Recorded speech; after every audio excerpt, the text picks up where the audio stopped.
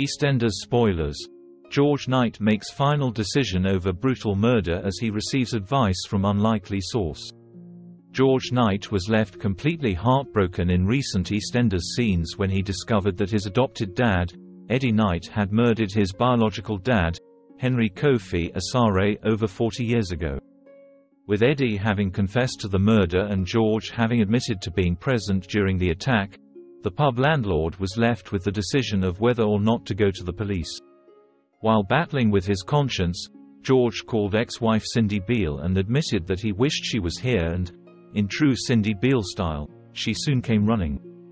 During their emotional chat, George revealed how Gloria Knight had asked Eddie to do whatever it took to stop Henry taking George away, and how this had led to his murder.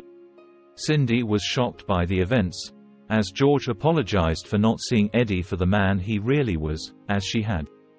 When Cindy asked if Gloria knew the truth about the murder all along, George admitted that she must have done in her heart of hearts, but expressed how he was worried she wouldn't survive if Eddie went to prison.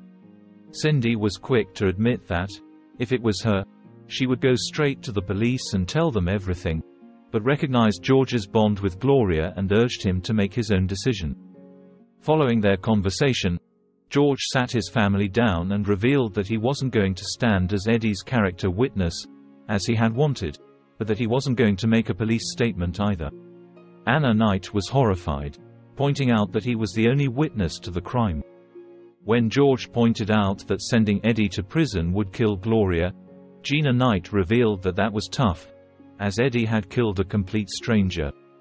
Having already decided to take a DNA test to try and find his biological mother and give his daughters the most accurate answers he could about heir heritage, George kept quiet about Henry's true identity.